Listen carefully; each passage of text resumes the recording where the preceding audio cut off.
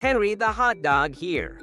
It's been a busy day at the Underwater Math Carnival, but it's not been all fun and games for me.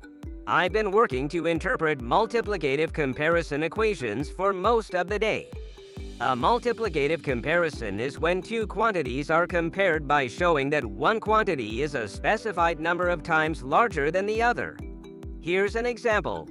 I have the equation 48 equals 6 times 8. I can interpret this equation to mean 48 is 6 times greater than 8.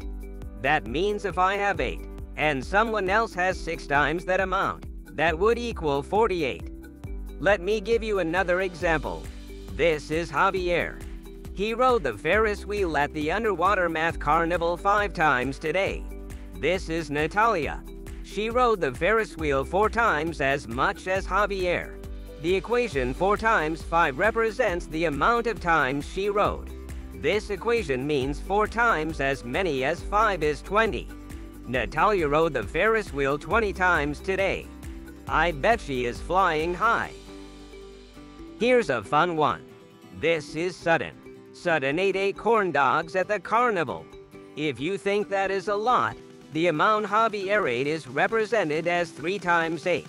That means he ate 3 times as many as 8 corn dogs for a total of 24. That's enough corn dogs for an entire lifetime. One more. This is fun. Natalia played 6 games at the carnival. The amount of games Sutton played is represented with the equation 5 times 6. This equation means that Sutton played five times as many as six games, which is 30 games. I hope he won lots of those gigantic stuffed animals.